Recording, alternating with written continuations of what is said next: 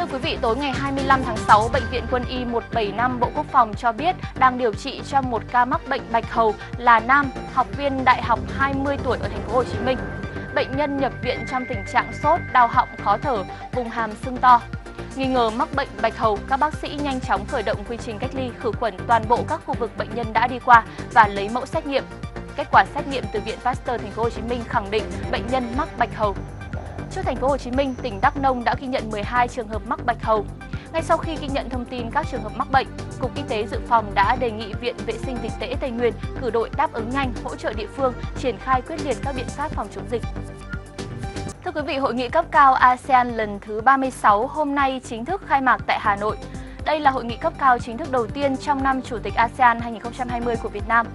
Hội nghị lần này diễn ra theo hình thức trực tuyến với sự tham dự của lãnh đạo 10 nước ASEAN tại các đầu cầu mỗi nước. Các nhà lãnh đạo vào dịp này sẽ giả soát xem xét lại tất cả công việc của ASEAN từ hội nghị cấp cao lần trước, hội nghị cấp cao lần thứ 35 vào tháng 11 năm 2019 đến nay, đưa ra chỉ đạo cho định hướng khai mạc với chủ đề phát thanh đổi mới và đa dạng.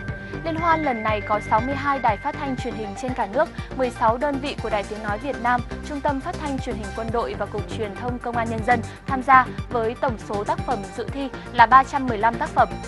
Dự kiến ban tổ chức sẽ trao 20 giải vàng, 53 giải bạc, 72 giải đồng, 82 bằng khen và 6 giải cho người dẫn chương trình tài năng. Theo đánh giá của Hội đồng Trung khảo, các tác phẩm lọt vào vòng Trung khảo lần này vượt trội về nội dung và hình thức thể hiện, tập trung phản ánh công cuộc đổi mới toàn diện của đất nước, địa phương và những vấn đề nóng. Ngoài ra, nhiều tác phẩm đặc sắc viết về tấm gương người tốt, việc tốt, tấm gương sáng trong học tập và làm theo tư tưởng đạo đức phong cách Hồ Chí Minh.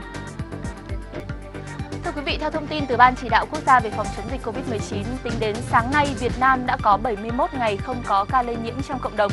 Nước ta cũng không ghi nhận thêm ca mắc mới nào trong vòng 24 giờ qua. Hiện vẫn còn 6.889 người tiếp xúc gần và nhập cảnh từ vùng dịch đang được cách ly để theo dõi sức khỏe.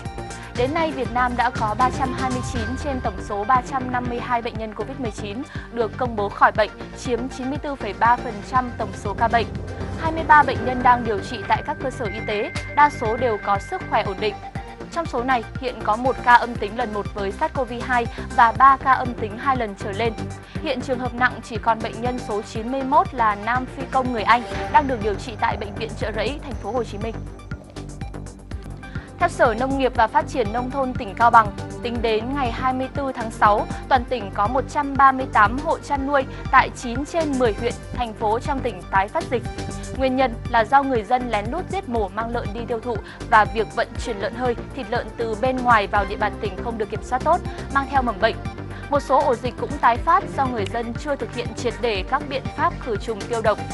Trước tình hình trên, Sở Nông nghiệp và Phát triển Nông thôn Cao Bằng đã chỉ đạo các cơ quan chuyên môn đôn đốc hướng dẫn cơ sở thực hiện các biện pháp phòng chống dịch, khử trùng tiêu độc cơ sở chăn nuôi, xử lý lợn bệnh, lợn chết, xử lý môi trường theo quy định, chuẩn bị công bố dịch khi đủ điều kiện.